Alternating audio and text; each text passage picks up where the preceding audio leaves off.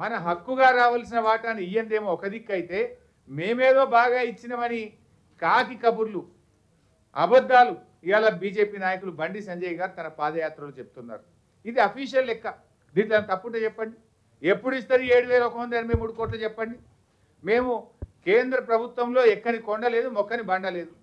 గౌరవ ప్రధానమంత్రి గారిని కలిసినాము ఆర్థిక మంత్రి గారు కలిసినాము కేంద్ర కార్యదర్శులను కలిసినాము పదే పదే రిమైండర్స్ రాసినాము ఉత్తరాలు రాసినాము కలిసినప్పుడు చెప్పినాము ఫోన్ ద్వారా చెప్పినాము అయినా కూడా ఈ రాష్ట్రానికి రావాల్సిన డబ్బులు ఇవ్వడం లేదు.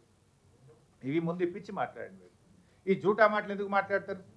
ఏదో మూడు లక్షల కోట్లు ఇచ్చినాం యాడిచ్చిన మూడు లక్షల కోట్లు. చెప్పండి. జాతీయ రహదారులు కూడా కలుపుతారు జాతీయ రహదారులలో మీరు అది టోల్ పెట్టి వసూలు చేస్తారు.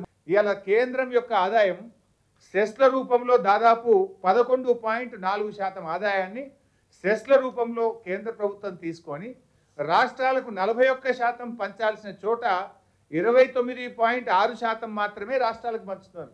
ఎంత ఎంత పెద్ద ఘాటా పెట్టిండ్రు?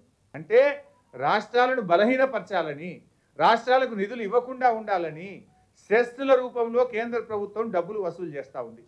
గత ప్రభుత్వాలు ఎప్పుడు చేయలే. ఈ విషయం మేం చెప్పింది కాదు.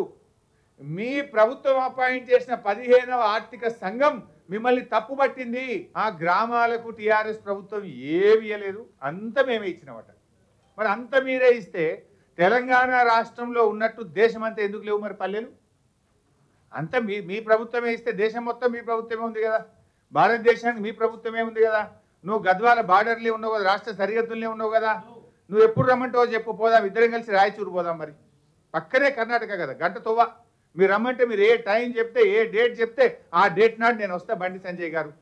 మరి గద్వాల పల్లెల్లో ఉన్న సౌకర్యాలు పక్కనే రాయచూరు పల్లెల్లో ఎందుకు లేవు?